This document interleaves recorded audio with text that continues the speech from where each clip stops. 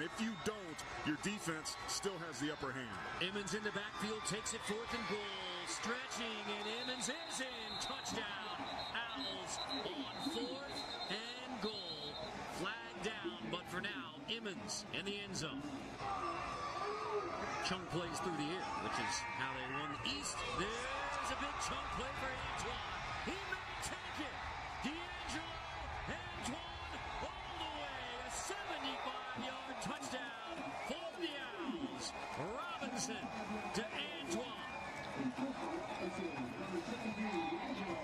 Antoine takes it to the house. He's going to break in right here. And you're going to see right there the missed tackle. I believe that was Will Bowler. Had a missed tackle, an RPO, and a slant, and a bubble screen a week ago as well. Only one third down conversion so far. Robison delivers on target inside the five-yard line, and it is touchdown. Florida Atlantic. John Mitchell takes it in. FAU went back to a cover three with three deep. There was nowhere to throw the football. Credit the pressure, and once again, FAU's get the ball back. It's blocked. Greenwell's punt is blocked. Scoop, touchdown, Owls.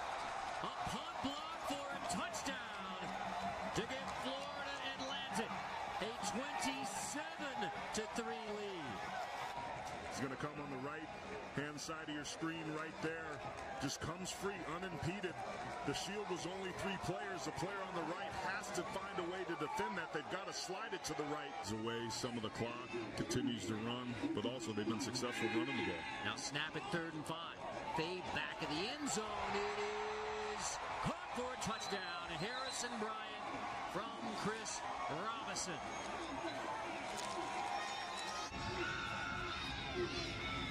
Second and goal, wins the Oklahoma drill at the goal line. Touchdown, Owls. Mono Imano and BJ Emmons wins. Owls on top, 41 to 6. They've been torched by this Owl offense today. Robison's going to hand the football off. Malcolm Davidson's going to cut it back, and he has plenty of room to run. Malcolm Davidson to the 41-yard line for Florida Atlantic. It worked because there was no pursuit. There's nobody over on that side of the football. Look at that. The UAB team we've seen on tape all this season, that would have been a six-yard loss, but today analyzes book And so here's Robison stepping up, end zone, touchdown on fourth down. Chauncey Mason hauls it in.